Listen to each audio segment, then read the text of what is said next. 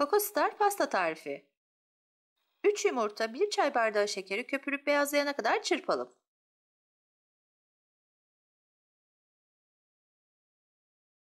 İki yemek kaşığı kakao ekleyip çırpalım.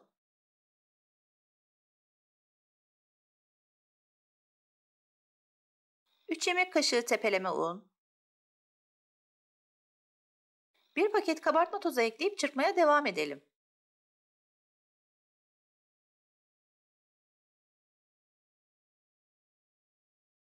Fırın kalıbını yağlayalım. Yuvarlak, kare istediğiniz kalıbı kullanabilirsiniz. Hamuru kek kalıbına eşit şekilde dökelim.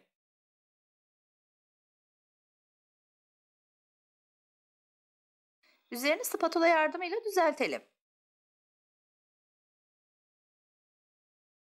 Önceden ısıtılmış 180 derece fırında pişirelim. İlk sıcaklığı çıktıktan sonra kalıptan çıkaralım. Servis tabağına alalım. Üzerine tekrar kalıbı yerleştirelim. Bir çay bardağı süt ile kek ıslatalım.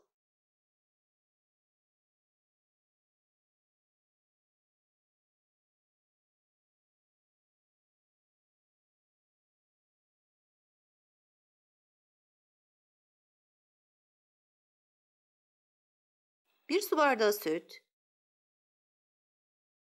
bir paket krem şantiyi tarife göre çırpalım.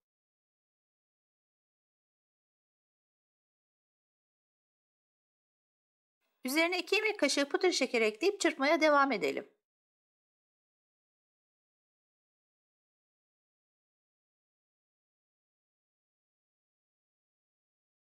İki su bardağı Hindistan cevizi ekleyelim.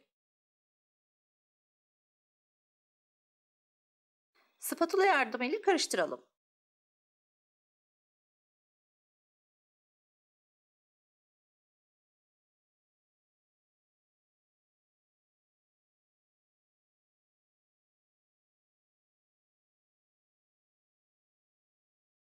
Krem şantiyi pastaya ekleyelim.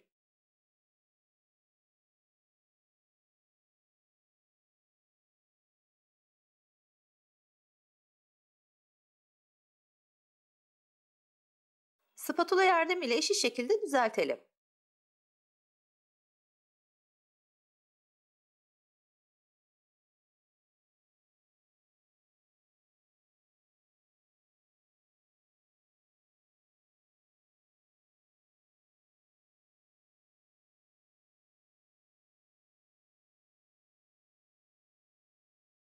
Sosu için bir paket sıvı krema, 80 gram sütlü çikolata ekleyelim. Kremayı ısıtmadan çikolatayı eritelim.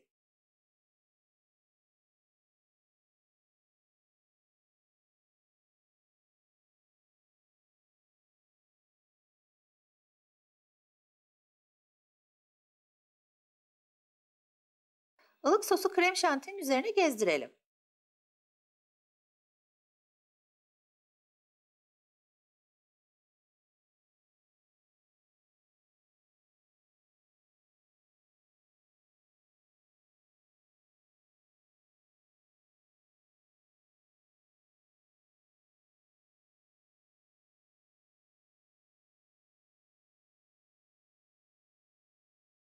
...5-6 saat buzdolabında dinlendirelim.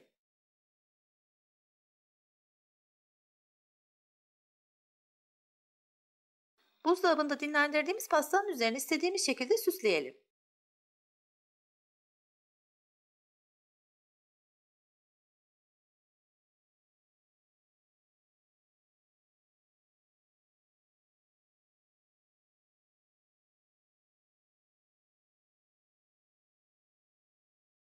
Pastamızı dilimleyelim.